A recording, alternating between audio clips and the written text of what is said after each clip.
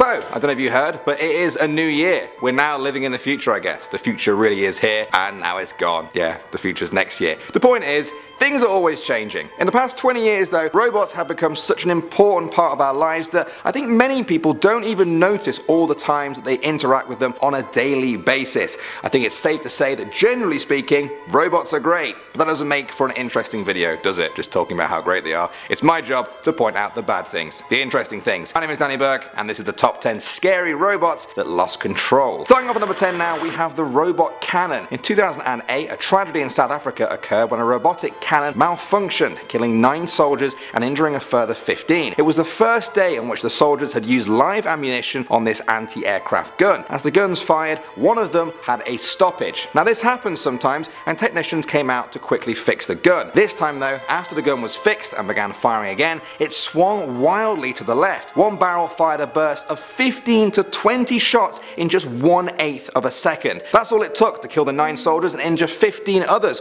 who were operating the other guns to the left of the malfunctioning one. Moving on to number 9 now, we have the robot surgeon. In 2015, news broke of a robot surgeon that killed 144 patients and injured a further 1,391. Basically, if this robot was a person, it would be one of the worst killers of all time. Technically speaking though, if I'm being honest, this wasn't all due to one single robot. Those deaths and injuries were from many different robots used during surgeries in the US. If you want to talk about specific robots though, there was an example in this study of a mechanical surgeon that killed two people and injured 52 others when it kept powering down mid-operation or making an incorrect movement. Another common case that caused one death and 119 injuries were pieces of the robot falling off into the patient, requiring a human surgical team to intervene and retrieve the broken hardware. Now the good news is that with every mistake, technicians and engineers are learning invaluable lessons about how to make these robot surgeons as safe as they can possibly be in the future. Moving on to number 8 now, we have Volkswagen. In 2015, a robot killed a contract worker at a Volkswagen production plant in Germany. A 22 year old male was part of a team that was setting up the robot when it grabbed him and crushed him to death against a metal plate. Now the initial report from the company blamed human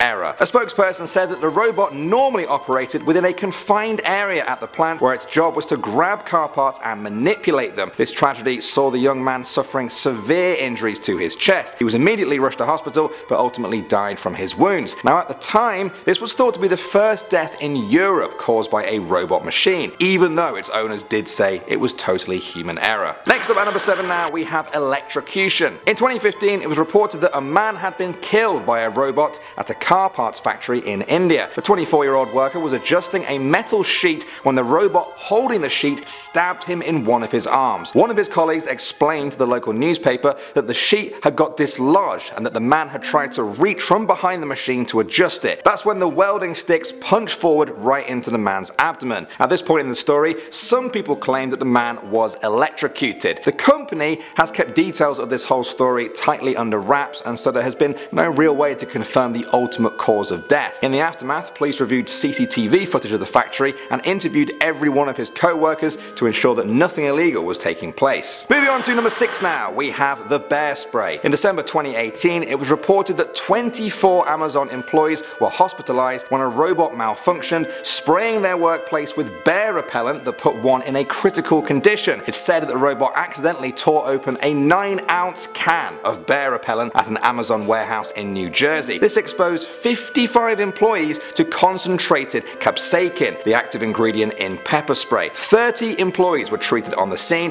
24 were taken to hospital as a precaution, and one was reported to be in a critical condition. Fortunately, nobody was seriously injured. Moving on to number 5 now, we have The Factory. In December 2018, a shocking story came out of China where a factory worker was skewered with 10 steel spikes after a robot malfunctioned and impaled him. Seriously, look away if you're squeamish, these pictures are horrible. Incredibly, the 49 year old man managed to survive the initial accident. Surgeons worked quickly to remove the steel spikes and found that one of them was just 0.04 inches from a major artery. Each of these steel bars measured 30 centimeters in length length and 1.4 centimeters in diameter. The accident occurred when the robotic arm collapsed on the man, sending its spikes piercing right through him. Surgeons actually struggled to figure out how to examine his insides due to the fact that they couldn't x-ray him because of the steel spikes. An emergency surgery saved his life the very next day. I don't know what happened to the robot though. Moving on to number 4 now, we have McDonald's. Now this story comes from 2009 where an employee for a company that supplies McDonald's was killed by a malfunctioning robot. Anna Maria Vital of La Puente was pronounced dead after sustaining crushing injuries. They were caused by boxing machinery after Anna tried to remove a box that had been lodged in the machine. The scene was quickly contained and employees were turned away at the entrance. One employee who witnessed the event said that when the box moving robot grabbed Anna, mechanics tried to remove her from the machinery but was just too late. A spokesperson for the company said, We are deeply saddened by this tragic accident that occurred at our manufacturing plant in the city of industry. On behalf of our entire organization, we want to express our deepest sympathies to the families and friends of the individual involved in this unfortunate accident. Next up number 3 now we have Uber. In March 2018, Uber made the news for all the wrong reasons when one of their self-driving cars killed a woman on the street in Arizona. The local police said the self-driving car was in autonomous mode at the time of the crash, but there was actually a human in the driver's seat. The victim was walking outside of the crosswalk area and later died in hospital. As a result, the company said it was pausing its self-driving car operations across a number of US cities. Police investigation revealed that yes, the woman was actually walking outside of the crosswalk area with a bicycle when she was hit. Many people have said this isn't a good enough excuse for autonomous vehicles though and that they need to be worked on a lot more if they can't prepare for humans breaking the rules of the road, even just a tiny bit like that. Moving on to number 2 now we have Kenji Urada. That's the name of the man that was checking on a malfunctioning robot arm at the Kawasaki vehicle plant in Akashi, Japan in 1981. The machine had been turned off, but as Kenji leapt over a chain fence to inspect the robot, he accidentally hit the switch that reactivated it. As a result, he was almost instantly pinned against the machine that's used for processing automobile gears and was crushed to death before his co-workers could do anything. At first, there was a lot of criticism towards the company about their safety protocols.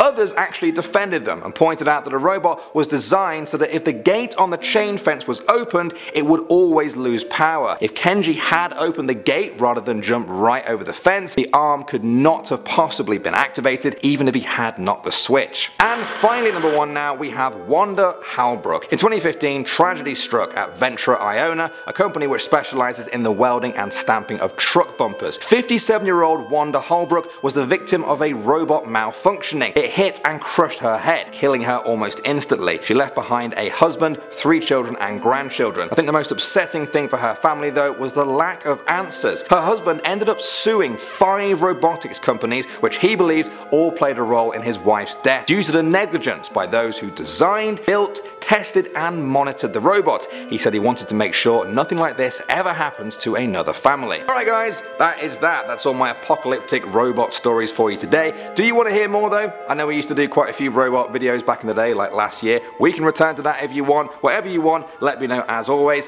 Thank you for watching guys. My name is Danny Burke and I will see you all in the next one.